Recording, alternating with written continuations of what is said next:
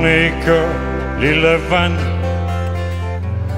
lån meg litt av din tid. Jeg vil du skal høre denne melodi.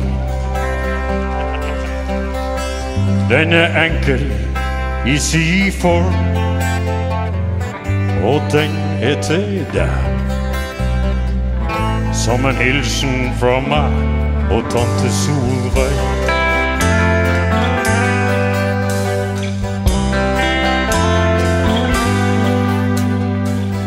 Monica, lille venn,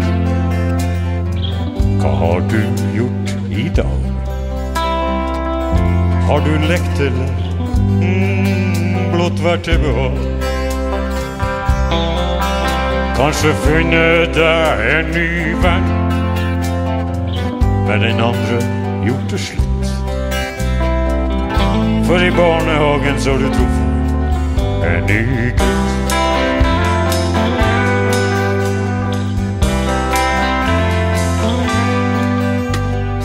Monica, lille venn, nu er det blitt. Tida som du lånte meg, er nu en. Men jeg håper du har hatt det bra, så skynd deg i seng. Og gi bamsen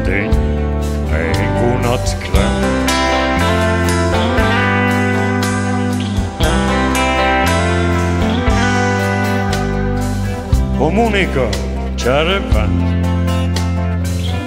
nu er du blitt stor. Sangen er skrevet til deg, var helt enkle ord. Men jeg håper fremdeles du vil få det bra, og få det livet du helst skal ha. For ute i verden er det ikke sikkert at det venter deg så mye bra. Min kjære, kjære Monica.